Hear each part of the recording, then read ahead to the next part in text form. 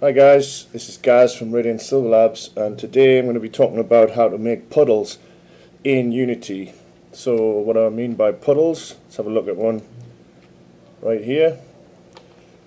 So in front of this place you can see these are puddles, very reflective puddles, uh, but that's it's quite a cool effect and I tried for quite a while to get that. So I'm going to just make a quick video talking about it. And you can change the parameters and that and make them uh, you know less reflective and things like that. So to do that I'm going to start from scratch with another puddle and explain how to do it as I go along. So Unity is a bit slow with this project. Um, Alright, where do I want another puddle?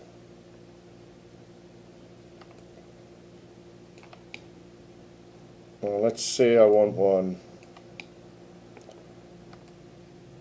I don't know, around here somewhere. So the first thing to do, uh, game object, 3D plane. The plane's better because you don't have to worry about all the edges and that like you do with a cube.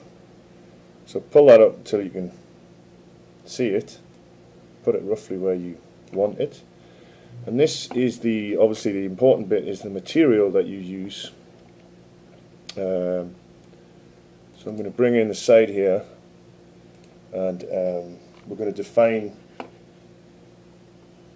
a new material. So go to wherever you make them. I make them in uh, materials, and I've already made one here, but I'm going to make another one. I'm going to go create uh, material RSL my puddles. RSL is Radiant Silver Labs. I just put that in front of everything I create so I know what's mine and what isn't. Now we're going to drag this onto the plane, as you might expect, and that won't look any different because it's standard empty material. So, um, first thing you want to do is change that to standard um, once Unity decides to res respond. Standard specular setup and rendering mode fade because we want only the puddles to show up so you can lay them on top of existing uh, materials. Now the hardest bit is probably this bit where you go um, you have to select an image to use for the puddles right well this one um, I'm using is um, is it puddle image B or B? I'm going to check my other one briefly.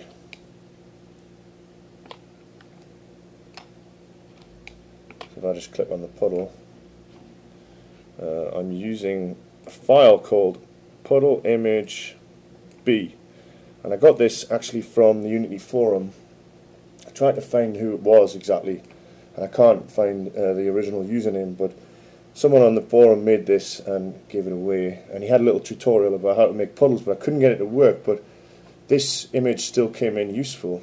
So we'll have a look at it in Photoshop briefly just so you can see what it is.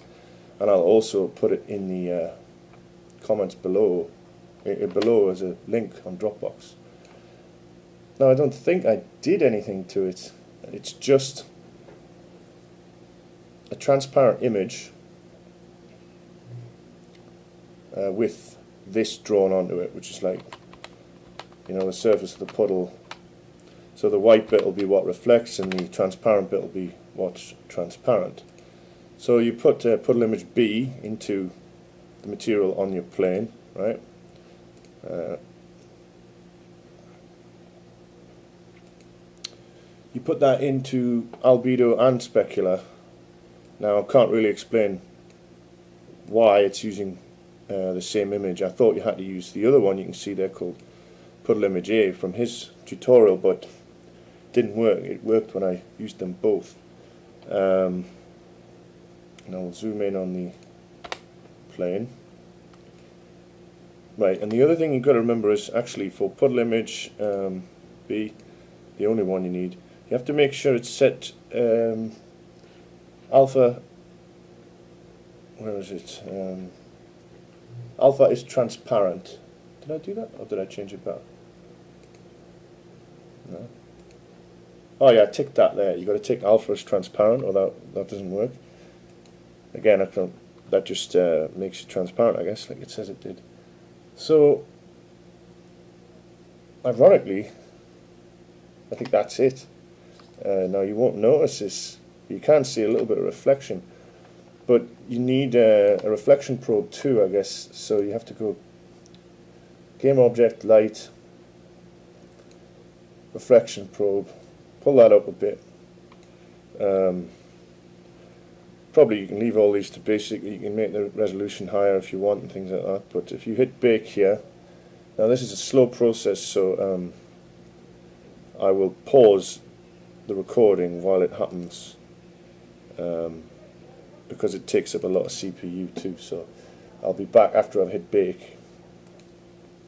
Actually that wasn't a slow process at all. It's very very quick. Uh, maybe the resolution I've got or the bounding box of the uh, reflection probe. So now you can see actually in the puddle things are reflecting. You see it's low res but that's because it's a 128 if you want that higher you can put that higher. You see that yellow text? That's actually what is above here due to the uh, reflection probe. Now I don't actually quite understand why the text underneath here you can see reflecting from over there where it says number 96 but I think you must have to put more reflection probes but that's the gist of it. Um, I think you can you can apply a normal map too right to the uh, whole thing to make it look kind of good so if you go to normal map I've got many of these. I'll just put water and look for one that looks like a normal map which has got that weird purple feel to it. So if I just click that for example now you can see it's got a different texture perhaps uh, extreme. Uh, I'll do something. You can have water droplets look so it looks like maybe fresh water on the surface. Uh, bit more thick or whatever. But actually all I wanted was like really clear crisp reflections that look like uh, it's just a pool of water on plastic or something. But there is a very subtle no normal map which looks quite good actually. And obviously you can uh, adjust the number over here to make it more extreme or less extreme. Um,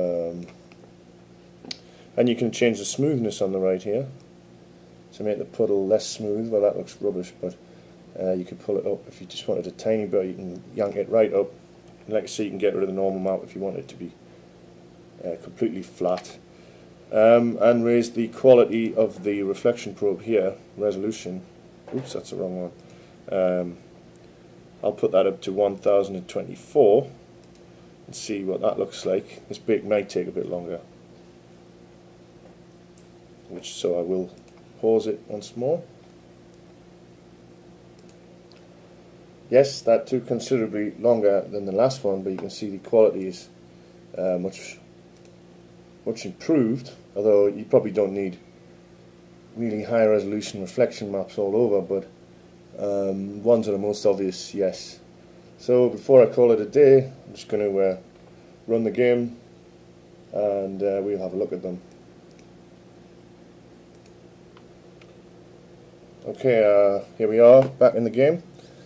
Um, come on, Unity. Now if I go over to it, you can see that's actually a beautiful looking puddle. You can see it reflecting the uh, the red sky and the green uh, from the thing behind the waterfall there. That That's wonderful, actually. That's uh, come out probably better than the other one in a way. Um, the distortion is really nice.